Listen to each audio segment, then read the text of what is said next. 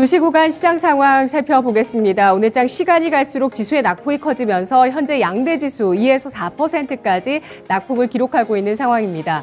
금요일장 유가가 6%까지 급락하면서 경기 침체에 대한 우려감이 더욱더 확산되는 모습을 나타냈는데요. 연준의 고강도 긴축이 경기를 침체시킬 수 있을 것이라는 우려감, 위험자산 회피 심리로 나타나고 있고 주말 사이에 가상화폐 시장의 급락세 그리고 오늘 아시아 주식시장 가운데 우리 증시의 큰 폭의 하락이 돋보 이고 있는 모습입니다. 아, 현재 원달러 환율은 전저점을 이탈하지 전고점을 이탈하지 않고 있는 모습을 보여주고 있죠. 1295원 선에 대한 저항을 느끼고 있습니다만 양대 지수 같은 경우는 현재 전 저점을 이탈하면서 2020년 10월과 11월에 저점을 경신해 나가는 모습 양대 지수 기록하고 있는 상황입니다. 두 시 구간 지수 움직임 살펴보시죠. 먼저 코스피 지수입니다. 코스피 지수 이틀 연속의 하락세 이어나가고 있습니다. 현재 장중 저점에서 낙폭을 조금은 줄였는데요. 2378.61포인트 선 기록하고 있는 모습이고요. 2.55%의 하락세 7조 원 넘는 거래대금 동반하고 있습니다. 분봉 상황 살펴보겠습니다. 오늘 양대 지수는 금요일장의 나스닥과 마찬가지로 상승 출발하는 모습을 보였습니다. 코스피가 0.37% 오름세로 2449선에서 출발을 한 이후에 시간이 갈수록 오후장으로 들어서면서 더욱더 낙폭을 깊어 어, 낙폭을 예, 깊게 나타내고 있습니다. 조금 전에 장중 저점을 기록하는 모습이었고요. 2300 2370선 중반에서 저점을 형성한 이후에 다시 한번 낙폭을 조금 줄이면서 2377선 63포인트가량의 낙폭을 기록하고 있습니다. 수급 살펴보도록 하겠습니다. 이틀째 외국인의 매도세가 이어지고 있는 시장의 모습인데요. 어, 현재 6,440억 원어치의 매도세가 나오고 있습니다.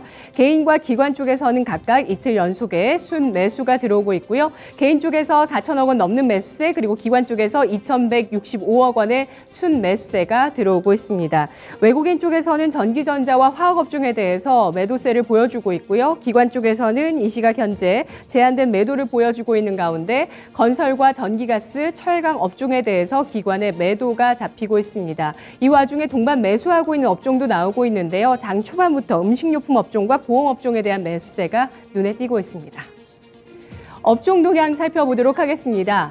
아, 유가증권 시장에서 모든 업종이 하락하고 있습니다. 이 가운데서 전기 가스 업종 4% 넘는 낙폭을 기록하고 있는데요. 물가 부담 때문에 전기 전기 그리고 가스 요금 인상폭이 크지 않을 것이다. 이런 전망이 나오고 있는 가운데 한국 도시가스의 어, 한국 어, 도시가스 공사의 주가가 6% 넘게 급락하고 있는 모습 눈에 띄고 있습니다. 철강 금속과 종이 목재 그리고 기계와 건설 업종까지 일제히 4% 내외의 낙폭 기록되고 있고요. 모든 업종이 하락하고 있습니다. 시가총액 상위 종목군들도 저점 이탈하고 있는 종목군들 많이 눈에 띄고 있는데요. 이 가운데서 카카오, 네이버 보도록 하겠습니다. 카카오가 나흘째 주가 하락세를 기록하고 있는 모습이고요. 네이버는 주가 10거래일 연속의 하락세가 이어지고 있는 상황입니다. 나란히 52주 신저가를 경신하고 있는 모습 나타나고 있고요. 대장주 삼성전자 역시도 신저가를 경신하면서 2% 넘는 하락세, 2% 후반까지 낙폭을 키워내면서 58,100원 선의 주가 거래되고 있는 상황입니다. 그리고 경기 민감주라고 보실 수 있는 철강 지주사주 포스코 홀딩스 역시도 오늘장 신저가를 경신하며 아래쪽으로 보시면 낙폭이 깊게 나오고 있는데요. 52주 신저가 경신하고 있는 모습 기록이 되고 있는 상황입니다.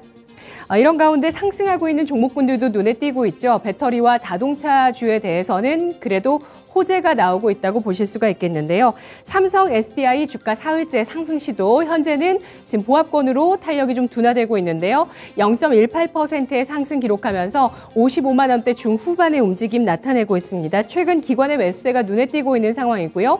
또 삼성 그룹사에서 계열사들 그 주력 계열사들과 함께 전기차 공동 테스크포스를 구성했다는 소식 삼성 SDI 주가 사흘째 끌어올려주고 있는 상황이고요.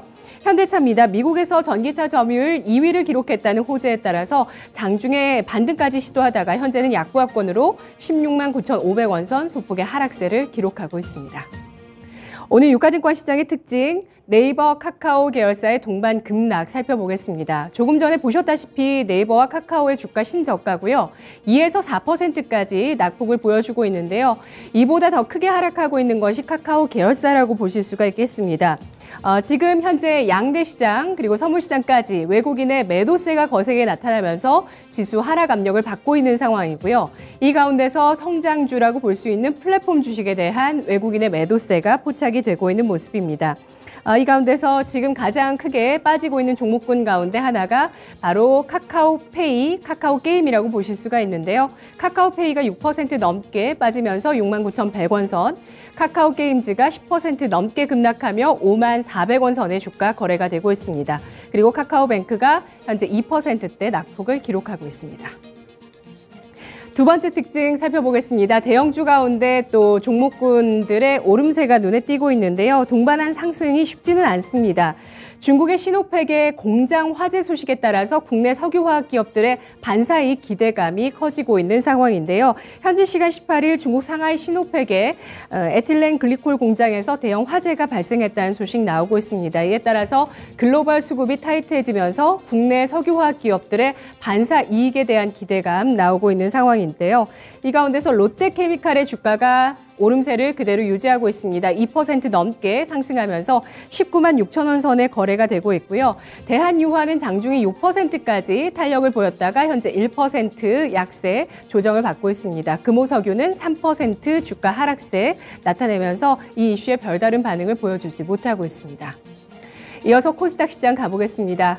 아, 금요일장에 이어서 코스닥 시장도 월요일장 하락세로 나타나고 있는데요. 현재 770선을 깨고 내려가는 모습, 4% 넘게까지 낙폭을 키웠다가 낙폭을 조금 줄이고 있습니다. 3.88%가 하락하면서 767.71포인트 어, 선 기록하고 있는 모습인데요. 거래대금은 5조 7천억 원가량 나타나고 있습니다.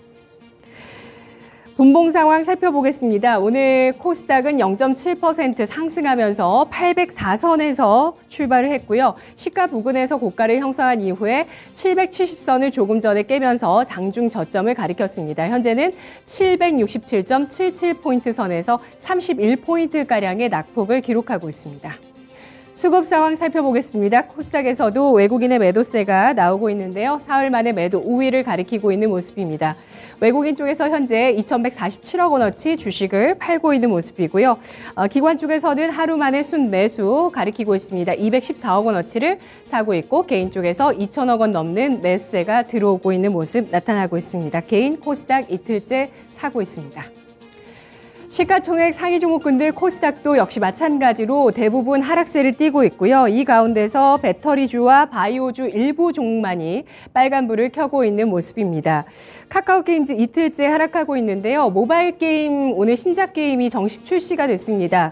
어, 우마무스메 프리티 더비가 정식 출시가 됐는데요. 하지만 어, 최근 들어서 6월 들어서 외국인의 매수가 들어오다가 오늘은 외국인 쪽에서 카카오 게임즈에 대해서 매도 전환하면서 낙폭이 10% 넘게까지 나오고 있는 상황이고요.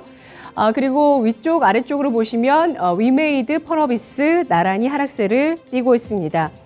펄어비스 최근 외국인의 매수세가 또 유입됐었던 종목이기도 합니다. 최근에는 이렇게 게임주에 대해서 외국인이 저가 매수하는 듯 하다가 오늘 장은 또 매물 폭탄이 나오면서 크게 하락하고 있는 음, 모습들이 눈에 띄고 있습니다. 펄어비스도 현재 5%가량 하락하면서 5만 3천 원 선의 주가 거래가 되고 있는 모습입니다.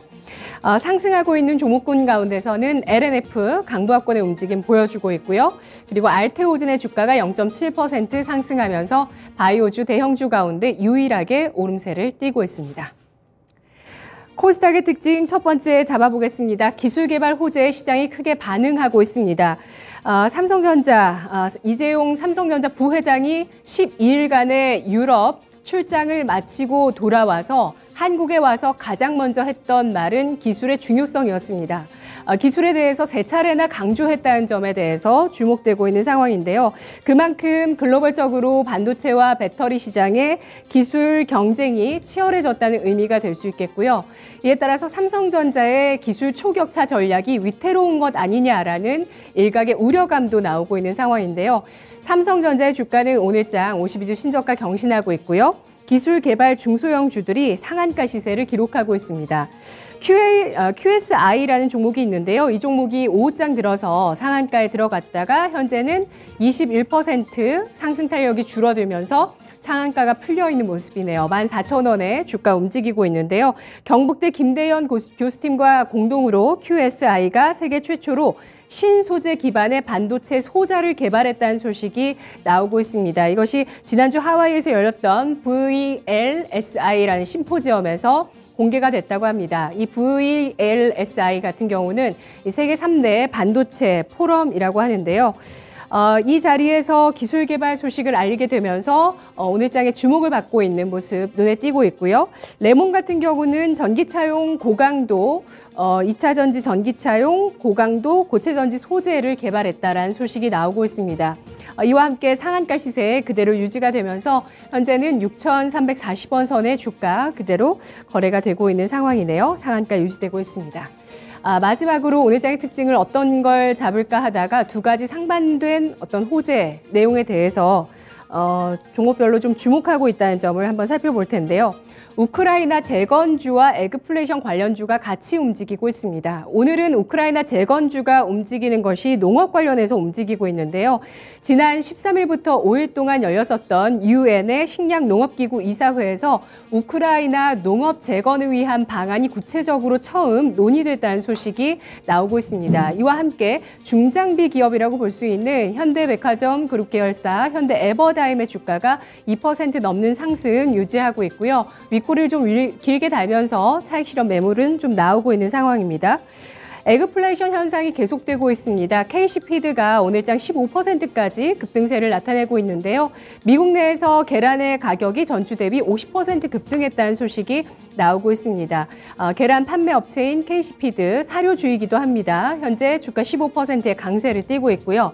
이 밖에 사료주 가운데 고려산업 25% 급등, 한일사료 그리고 미래 생명 자원 같은 종목들이 2%에서 6%까지 급등하며 시장에서 주목을 받고 있습니다. 두시 구간이었습니다.